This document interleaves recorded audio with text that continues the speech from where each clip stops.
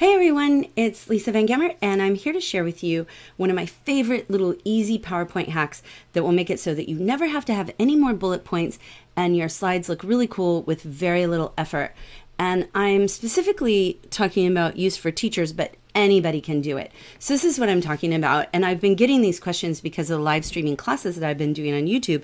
And some of the teachers who've been watching have been noticing like, wait, how are you doing those graphics? And it's totally free and really easy. So this is what they mean. So I've got, instead of bullet points, then you see I've got these different colors and I've got the, the text here with this graphic. Here's another example of it. And these are actual examples from, from the class. So let me show you how this is done. So I have a couple of ways I can do it. I'm going to show you just starting from scratch that I will click on insert and then what this is is smart art. It's here in the illustrations part of this ribbon.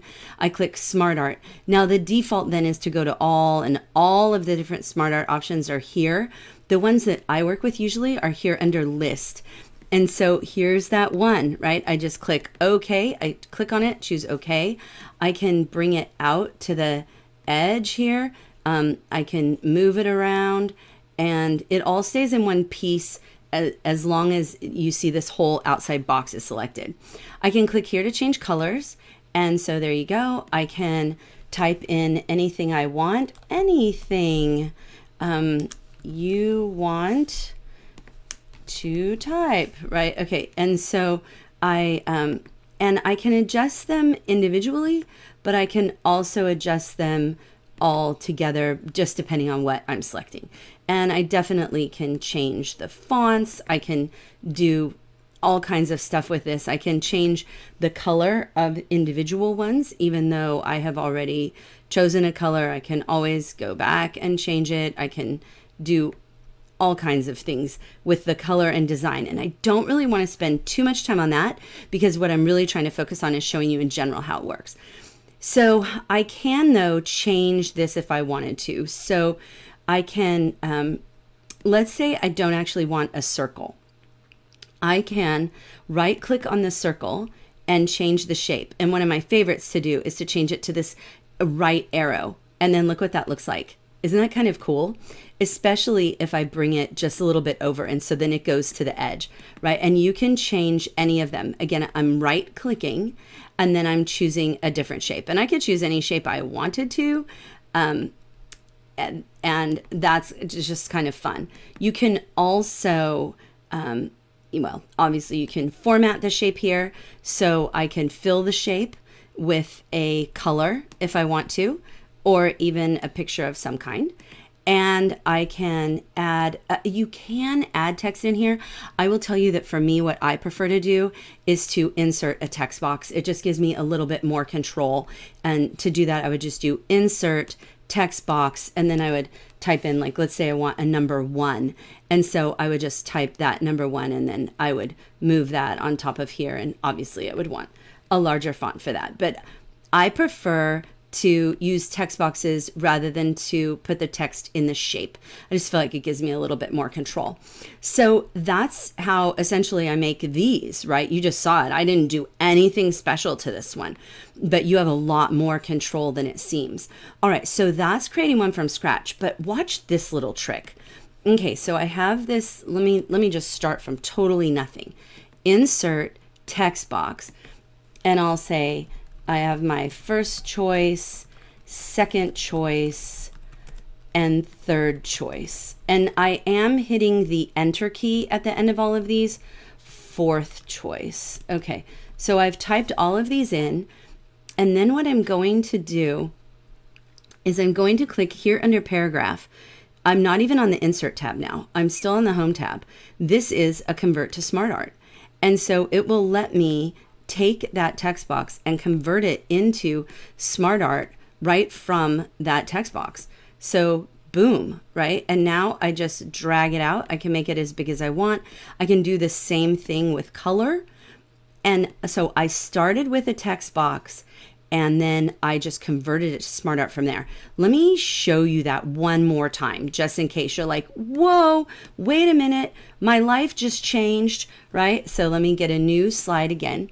I'm going to insert text box. So there's my text box. First, second, third, fourth, whatever text you want to say, right? Whatever text you want to type. And then I'm going to click this Smart Art icon here and choose the Smart Art graphic that I want. And in this case, well, let's just choose a different one just so you can see how it goes. And then now I, again, if I grab it at the corner, I can resize it out pretty large. Um, and then I can change the colors here to whatever I want. And I have another video, I'll link it in the description box below, but I have another video that shows how to change the color palette in in Microsoft. So if you want different colors to choose from. And so there you go and you can edit this as you like. All right, so let me show you one other one. So let, let's look at how you do this one. This is just a different smart art, but you'll see here that this, this looks different. So let me show you what I did there. Okay, so in this case, what I had was, let me, I'll start from scratch on this one. Insert smart art and let me go find a, um, that one, there it is. Here we go. And so it looks like this to start out with, and this is just nothing to write home about, right? But I can make some changes. So I can change the color if I want. So let's do that.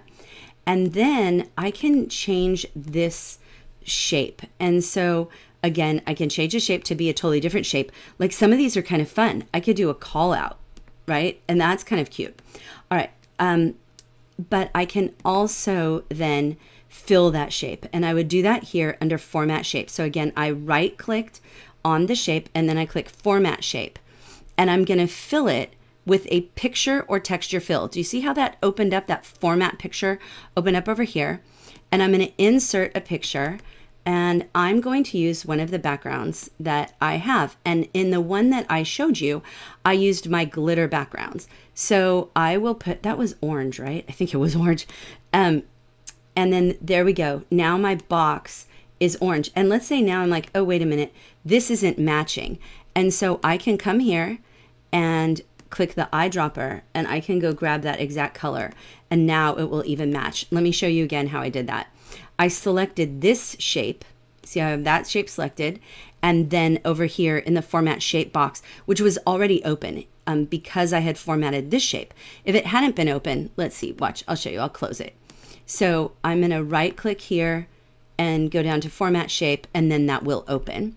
And then under the color, I did the eyedropper and selected a color from in here. So let me do another one of these shapes so that you can see what I mean. Okay, so I've got this shape and the format shape box opened, but if it hadn't, I would just right click and scroll down to format shape. I'm gonna choose picture or texture fill, and then I'm going to insert the picture from a file on my computer. And you could insert any picture that you have or want.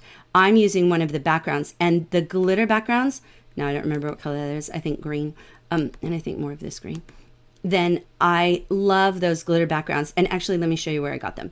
They are from Teachers Pay Teachers, and I'll link this product below, but it was $3 for all of these beautiful glitter papers, and I use them a lot. So I'll link that. No, that's not an affiliate link of any kind. It's just, I like it.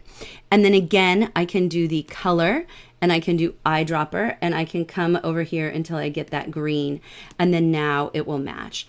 And so that's how I do it. Now, some people were interested in this box. Um, do you see how this shape kind of has a almost a handwritten look? That's something new, or well, let me say new-ish, right? So I'm going to insert a shape and I will do one of the call outs. So here we go. I'll do this one and there's my call out box. And the way that I give it that outline is that here under shape outline, do you see how it says sketched? I can choose that. And when I do that sketched outline, it gives me that really nice kind of wavy feel. And I like to give it a little bit, I find it works best with a little bit thicker point, right? So I could make the outline any color I want and I can make the fill any color I want. And that's how I get that kind of um, handwritten look that feels a little bit more approachable and there are several of them. That one the sketched one to me is just a little much. I like this one.